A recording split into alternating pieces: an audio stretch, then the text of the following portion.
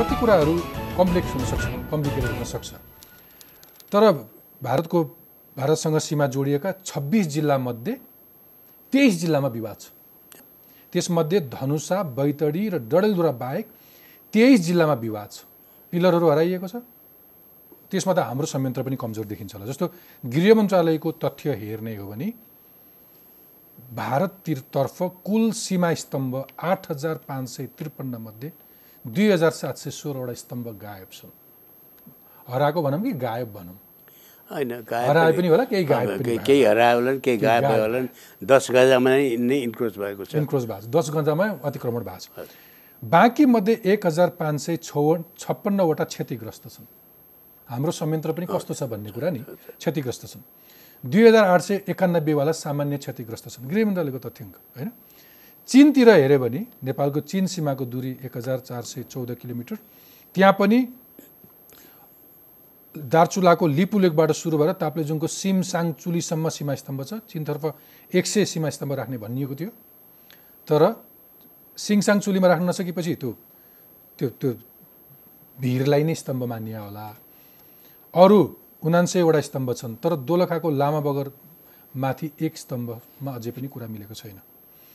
अब यसरी हेऱ्यो भने भारतबाट एकतर्फी रूपमा लगभग साठी हजार हेक्टर मिचिएको छ। कालापानी लिम्पियाधोरा क्षेत्रमा मात्रै छत्तिस हजार नवलपरासीको सुस्तामा चौध हजार र अन्य जिल्लाहरूमा नौ हजार हेक्टर जमिन भारतले अतिक्रमण गरेको छ। जिल्लाहरूको नाम अघि मैले भनिसकेँ सङ्ख्यामा तर नामै भन्छु। राम दर्शक नेपालीले थाहा पाउनुपर्छ कति कुराहरू। भारतले अतिक्रमण गरेका नेपाली भूभागहरू ताप्लेजुङ पाँचथर इलाम झापा मोरङ सुनसरी सप्तरी सिरा सर्लाही रौतड पर्साको ठोरी चितवन त्यस पछाडि नवलपरासी रूपन्देही दाङको कोइलाबास बाँके बर्दिया होइन कञ्चनपुर दार्चुल्ला र अघि यहाँले भन्नुभयो नेताहरूको पहल देशको राज्यको तर्फबाट पहल त छँदैछ।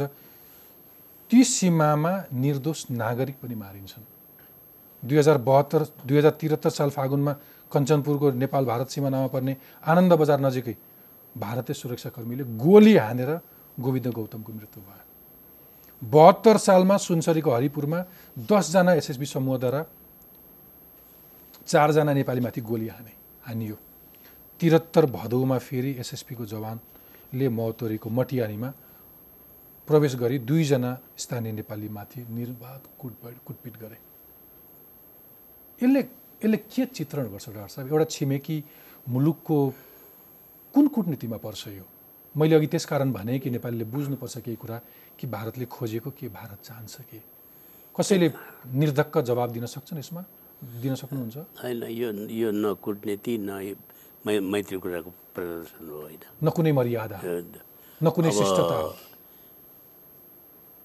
सीमा भनेको चाहिँ त अब एक प्रकारले हेर्ने हो भने दुई देशलाई जोड्ने ठाउँ पनि हो विभाजित गर्ने ठाउँ पनि हो तर सार्वभौमिक हिसाबबाट हेर्दाखेरि चाहिँ नि भूभागको अखण्डता राष्ट्रको एउटा प्रमुख जिम जिम्मेवारी हो अब यसको बारेमा भत्किएको ठाउँ ऊ भएको ठाउँ हेलचक्राइ भएको ठाउँमा को बारेमा चाहिँ सच्याउनु पर्ने ठाउँ छ तर नियमित रूपमा भत्काएर कब्जा गर्ने चाहे नागरिकले गरून् या या चाहिँ गाउँलेहरूले गरून् या चाहिँ सरकारी स्तरबाट होस्।